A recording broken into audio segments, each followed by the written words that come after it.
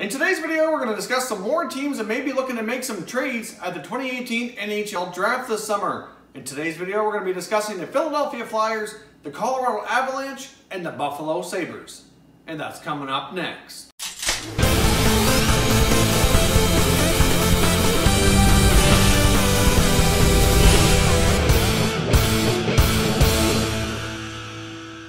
Hey everyone and welcome back to another video here at Top Shelf Hockey. If you're new to the channel, thanks for stopping by.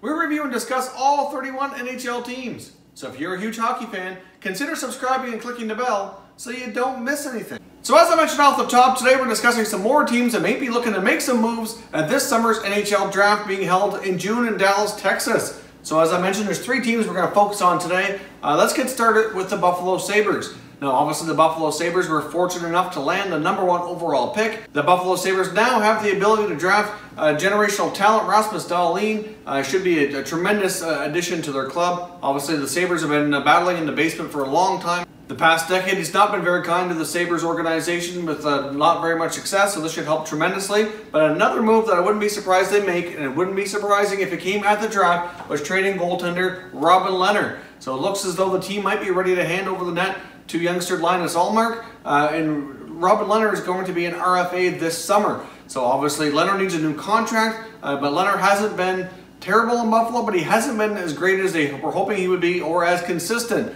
So I wouldn't be surprised at all to see them move him on uh, to another team. Now, where might he go? Uh, there's some question marks because there's some other teams that are certainly have some question marks around their goaltending as well. Uh, one of them would be the New York Islanders. So, for example, are they bringing back Jaro Halak? They're going in a new direction. There's certainly some question marks with the Islanders organization. Uh, St. Louis as well is another one. Carter Hutton's a free agent. If Carter Hutton departs via free agency, maybe they'd want to bring in Lehner to, to work with uh, Jake Allen as a 1A, 1B. That's a possibility. And another team that we're going to discuss here momentarily, and another uh, part of their team would be the Philadelphia Flyers. So obviously the Flyers goaltending has been uh, terribly inconsistent uh, for quite some time. Right now they have obviously Mrazek, they have Neuvirth, they have Elliott, and it's possible that uh, either one or none of them come back next year. It's hard to say. Uh, Mrazek needs a new contract, so obviously that's a possibility that uh, he may be traded. Maybe he could be traded straight up for Lehner. I don't know. Uh, but the Flyers have a lot of decisions to make on goaltending. Maybe Lehner's not the answer. The long-term answer is prospect Carter Hart,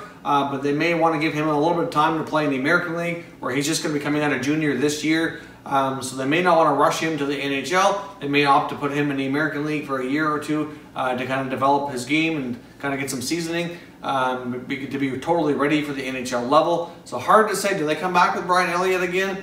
I don't know. There's a lot of question marks in Philadelphia. Goaltending is one of them. Not to say that Lehner's definitely going to end up there, but they're just certainly a team with question marks around goaltending. Um, either way, wouldn't be surprised uh, with Buffalo's uh, you know, ever going here rebuild, uh, that they may try to move Robin Lehner and instead of bringing back another goalie, which could be a possibility, but I wouldn't be shocking if they didn't. If instead they try to obtain another draft pick, either first or second round, or whatever they're able to uh, obtain for his rights at that point in time. Uh, they could do a sign-in trade where it might be better value for them uh, to get something better in return. Uh, but if he's unsigned and his rights are traded, obviously there'd be something a little bit less. But either way, I can see the Sabres maybe trying to get an additional pick or two uh, in this draft since it's so deep.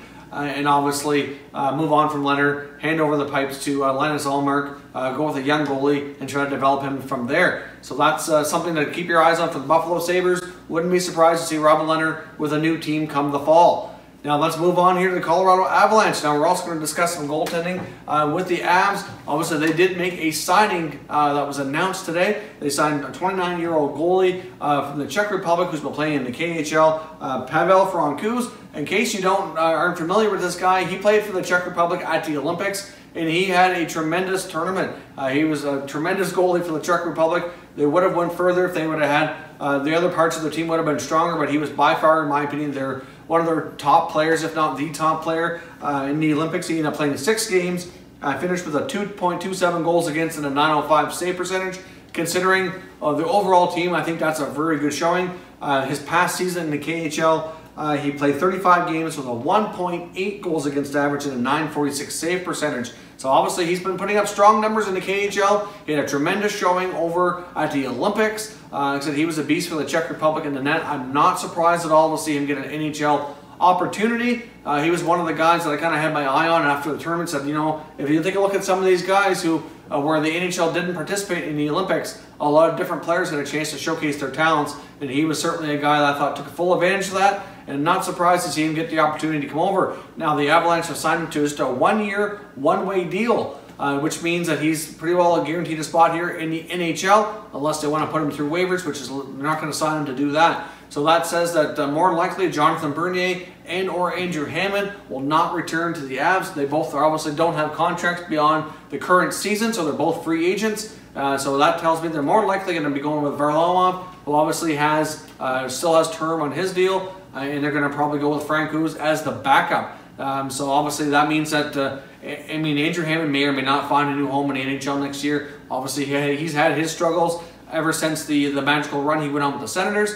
Um, and Bernier's been kind of hopping around from team to team on short-term deals the last few years as well. So it looks as though he may end up being on the move yet again to see if he can find more employment as a, as a backup elsewhere in the NHL, which I would imagine he probably would have a good shot at doing so. But uh, Pavel Francouz with the Avalanche uh, definitely should be their probably their backup goalie next year. And where they only signed him for one year, I believe it was only 650000 that could turn out to be an absolute steal for them. If he has a tremendous year like he has the potential to, I'm sure he'd probably get re-upped for uh, at least another two to three years after that. Hard to say how things will go. It's a, the NHL is a different game than overseas or the Olympics. But if his uh, if his play there indicates what he might be, that could turn out to be a steal for the Avalanche.